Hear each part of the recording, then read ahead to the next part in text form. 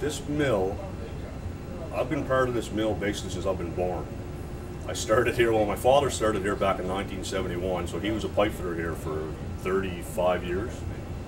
So my whole life has been this mill. Well, I guess it gives us our sense of life back. It's um, there's more of a buzz around town. People are, are excited. Lots of families that were used to having a parent go away and work now have their mom or dad back. It also means for a lot of the small businesses that were definitely affected by the mill being down.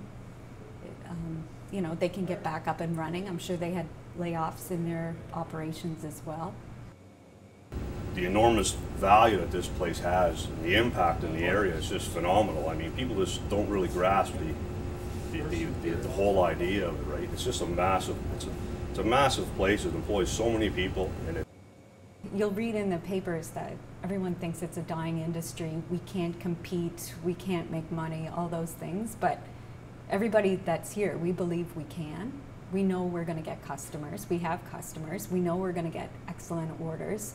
We're going to be the top paper producer for that class of paper.